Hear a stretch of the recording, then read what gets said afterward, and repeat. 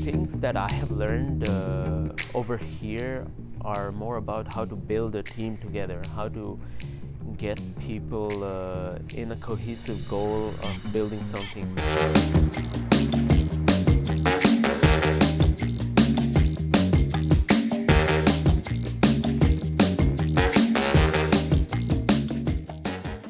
Hi, my name is Bishakh Rout and I'm the founder of OcuVista Solutions.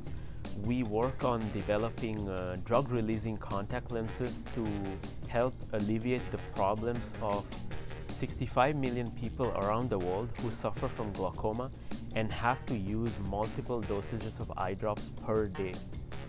Well, I joined D3 for the validation program. That was the first uh, program that I enrolled uh, in.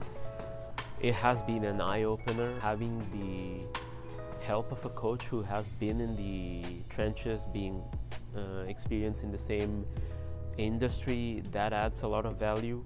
You tend to wake up from uh, the limited viewpoints that we had uh, at the start. And I think we reached a point where we were very focused on the value that we are providing to a specific customer segment and that enhances the chance of success that we have as we launch the product.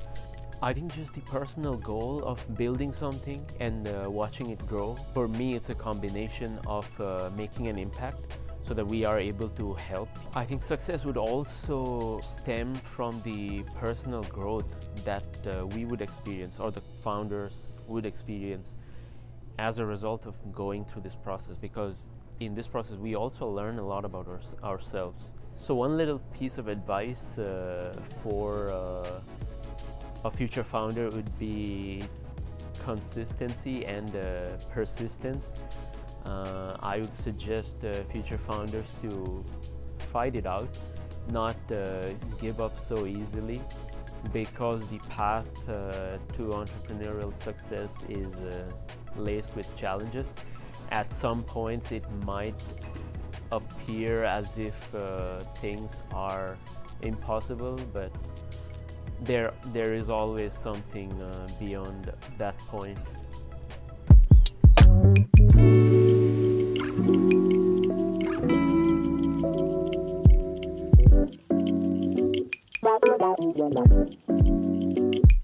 Bye.